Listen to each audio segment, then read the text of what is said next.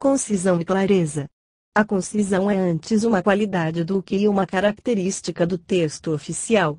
Conciso é o texto que consegue transmitir um máximo de informações com um mínimo de palavras.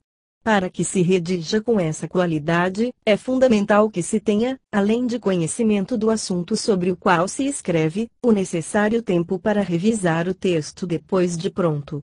É nessa releitura que muitas vezes se percebem eventuais redundâncias ou repetições desnecessárias de ideias.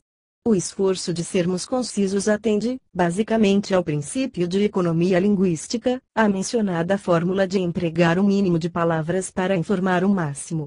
Não se deve de forma alguma entendê-la como economia de pensamento, isto é, não se devem eliminar passagens substanciais do texto no afã de reduzi-lo em tamanho. Trata-se exclusivamente de cortar palavras inúteis, redundâncias, passagens que nada acrescentem ao que já foi dito. Procure perceber certa hierarquia de ideias que existe em todo texto de alguma complexidade, ideias fundamentais e ideias secundárias. Estas últimas podem esclarecer o sentido daquelas, detalhá-las, exemplificá-las, mas existem também ideias secundárias que não acrescentam informação alguma ao texto, nem têm maior relação com as fundamentais, podendo, por isso, ser dispensadas. A clareza deve ser a qualidade básica de todo texto oficial. Pode-se definir como claro aquele texto que possibilita imediata compreensão pelo leitor. No entanto, a clareza não é algo que se atinja por si só. Ela depende estritamente das demais características da redação oficial. Para ela concorrem a impessoalidade, que evita a duplicidade de interpretações que poderia decorrer de um tratamento personalista dado ao texto Uso do padrão culto de linguagem, em princípio, de entendimento geral e por definição avesso a vocábulos de circulação restrita, como a gíria e o jargão. A formalidade e a padronização, que possibilitam a imprescindível uniformidade dos textos.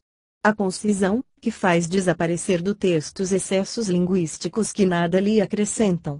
É pela correta observação dessas características que se redige com clareza contribuirá, ainda, à indispensável releitura de todo o texto redigido.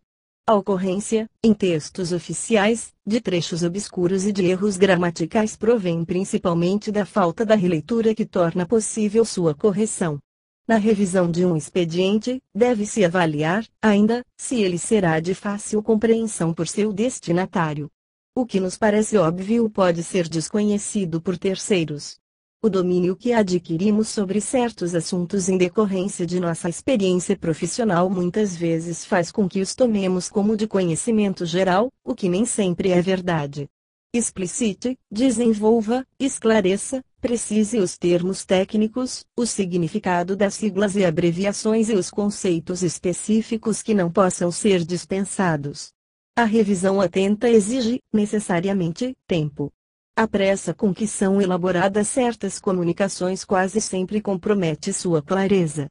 Não se deve proceder à redação de um texto que não seja seguida por sua revisão.